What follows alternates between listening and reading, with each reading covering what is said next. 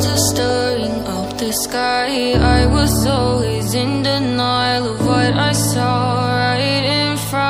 Brentford tampil memukau saat menjamu Manchester United pada pekan kedua musim ini yang berlangsung di Stadion GTEC Community. Brentford berhasil menang telak atas Manchester United dengan skor tanpa balas 4-0. Kekalahan ini merupakan kekalahan kedua skuad anak asuh Erik Ten Hag yang di laga perdana menelan kekalahan atas Brighton dengan skor 2-1. Kekalahan Manchester United tak lepas dari kesalahan kiper David De Gea yang membuat dua blunder fatal yang berujung gol untuk lawan.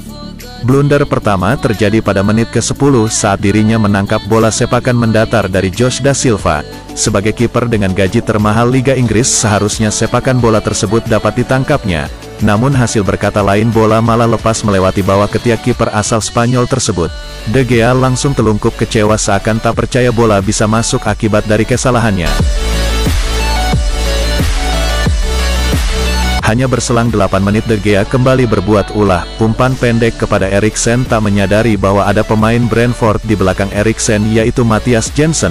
Bola berhasil direbut Jensen yang berujung gol untuk gol kedua dari Brentford. Tertinggal 2-0 Manchester United bukannya bangkit namun malah kebobolan lagi pada menit ke-31. Berawal dari sepakan pojok, Ben Mee berhasil menambah gol menjadi 3-0 lewat sundulannya. Skuad anak asuh Erik Ten Hag semakin terpuruk usai kembali kebobolan pada menit ke-35 yang dicetak oleh Brian Bemo. Sampai babak kedua berakhir skor masih sama 4-0 dengan kemenangan Brentford. Usai pertandingan De Gea meminta maaf kepada supporter Manchester United saat bicara di depan awak media. Saya bertanggung jawab atas kekalahan ini, saya membuat tim kehilangan tiga poin. Performa saya pada laga ini sangat buruk, dua blunder tercipta dan itu membuat tim sulit untuk bangkit. Saya seharusnya bereaksi lebih baik seharusnya bisa mengantisipasi gol pertama maka hasilnya akan berbeda. Tim kami bukanlah tim bisa menang 5-1 atau 6-1 usai kebobolan.